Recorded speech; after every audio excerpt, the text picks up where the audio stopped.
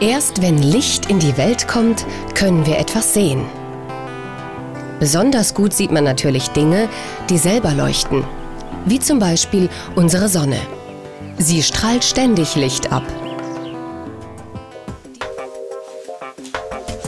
Unsere Lichtgruppe hat ja bereits einige Lichtquellen vorgestellt. Nun geht es einen Schritt weiter im Thema. Wo Licht ist, da ist auch Schatten. Das wollen wir heute einmal genauer untersuchen. Dazu brauchen wir noch einen Gegenstand, der einen ordentlichen Schatten werfen kann. Ein großer Beachballschläger ist nicht schlecht. Der Raum wird abgedunkelt. Und nun Licht an. Also, stellen wir den Versuch der Kinder noch einmal nach. Die erste Lichtquelle erzeugt einen Schatten links hinter dem Beachballschläger.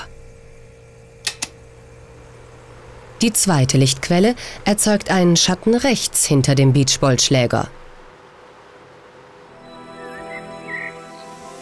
Und wenn man viele kleine Tröpfchen erzeugt, dann sieht man in dem Sprühnebel einen richtigen Regenbogen. Woher kommt das?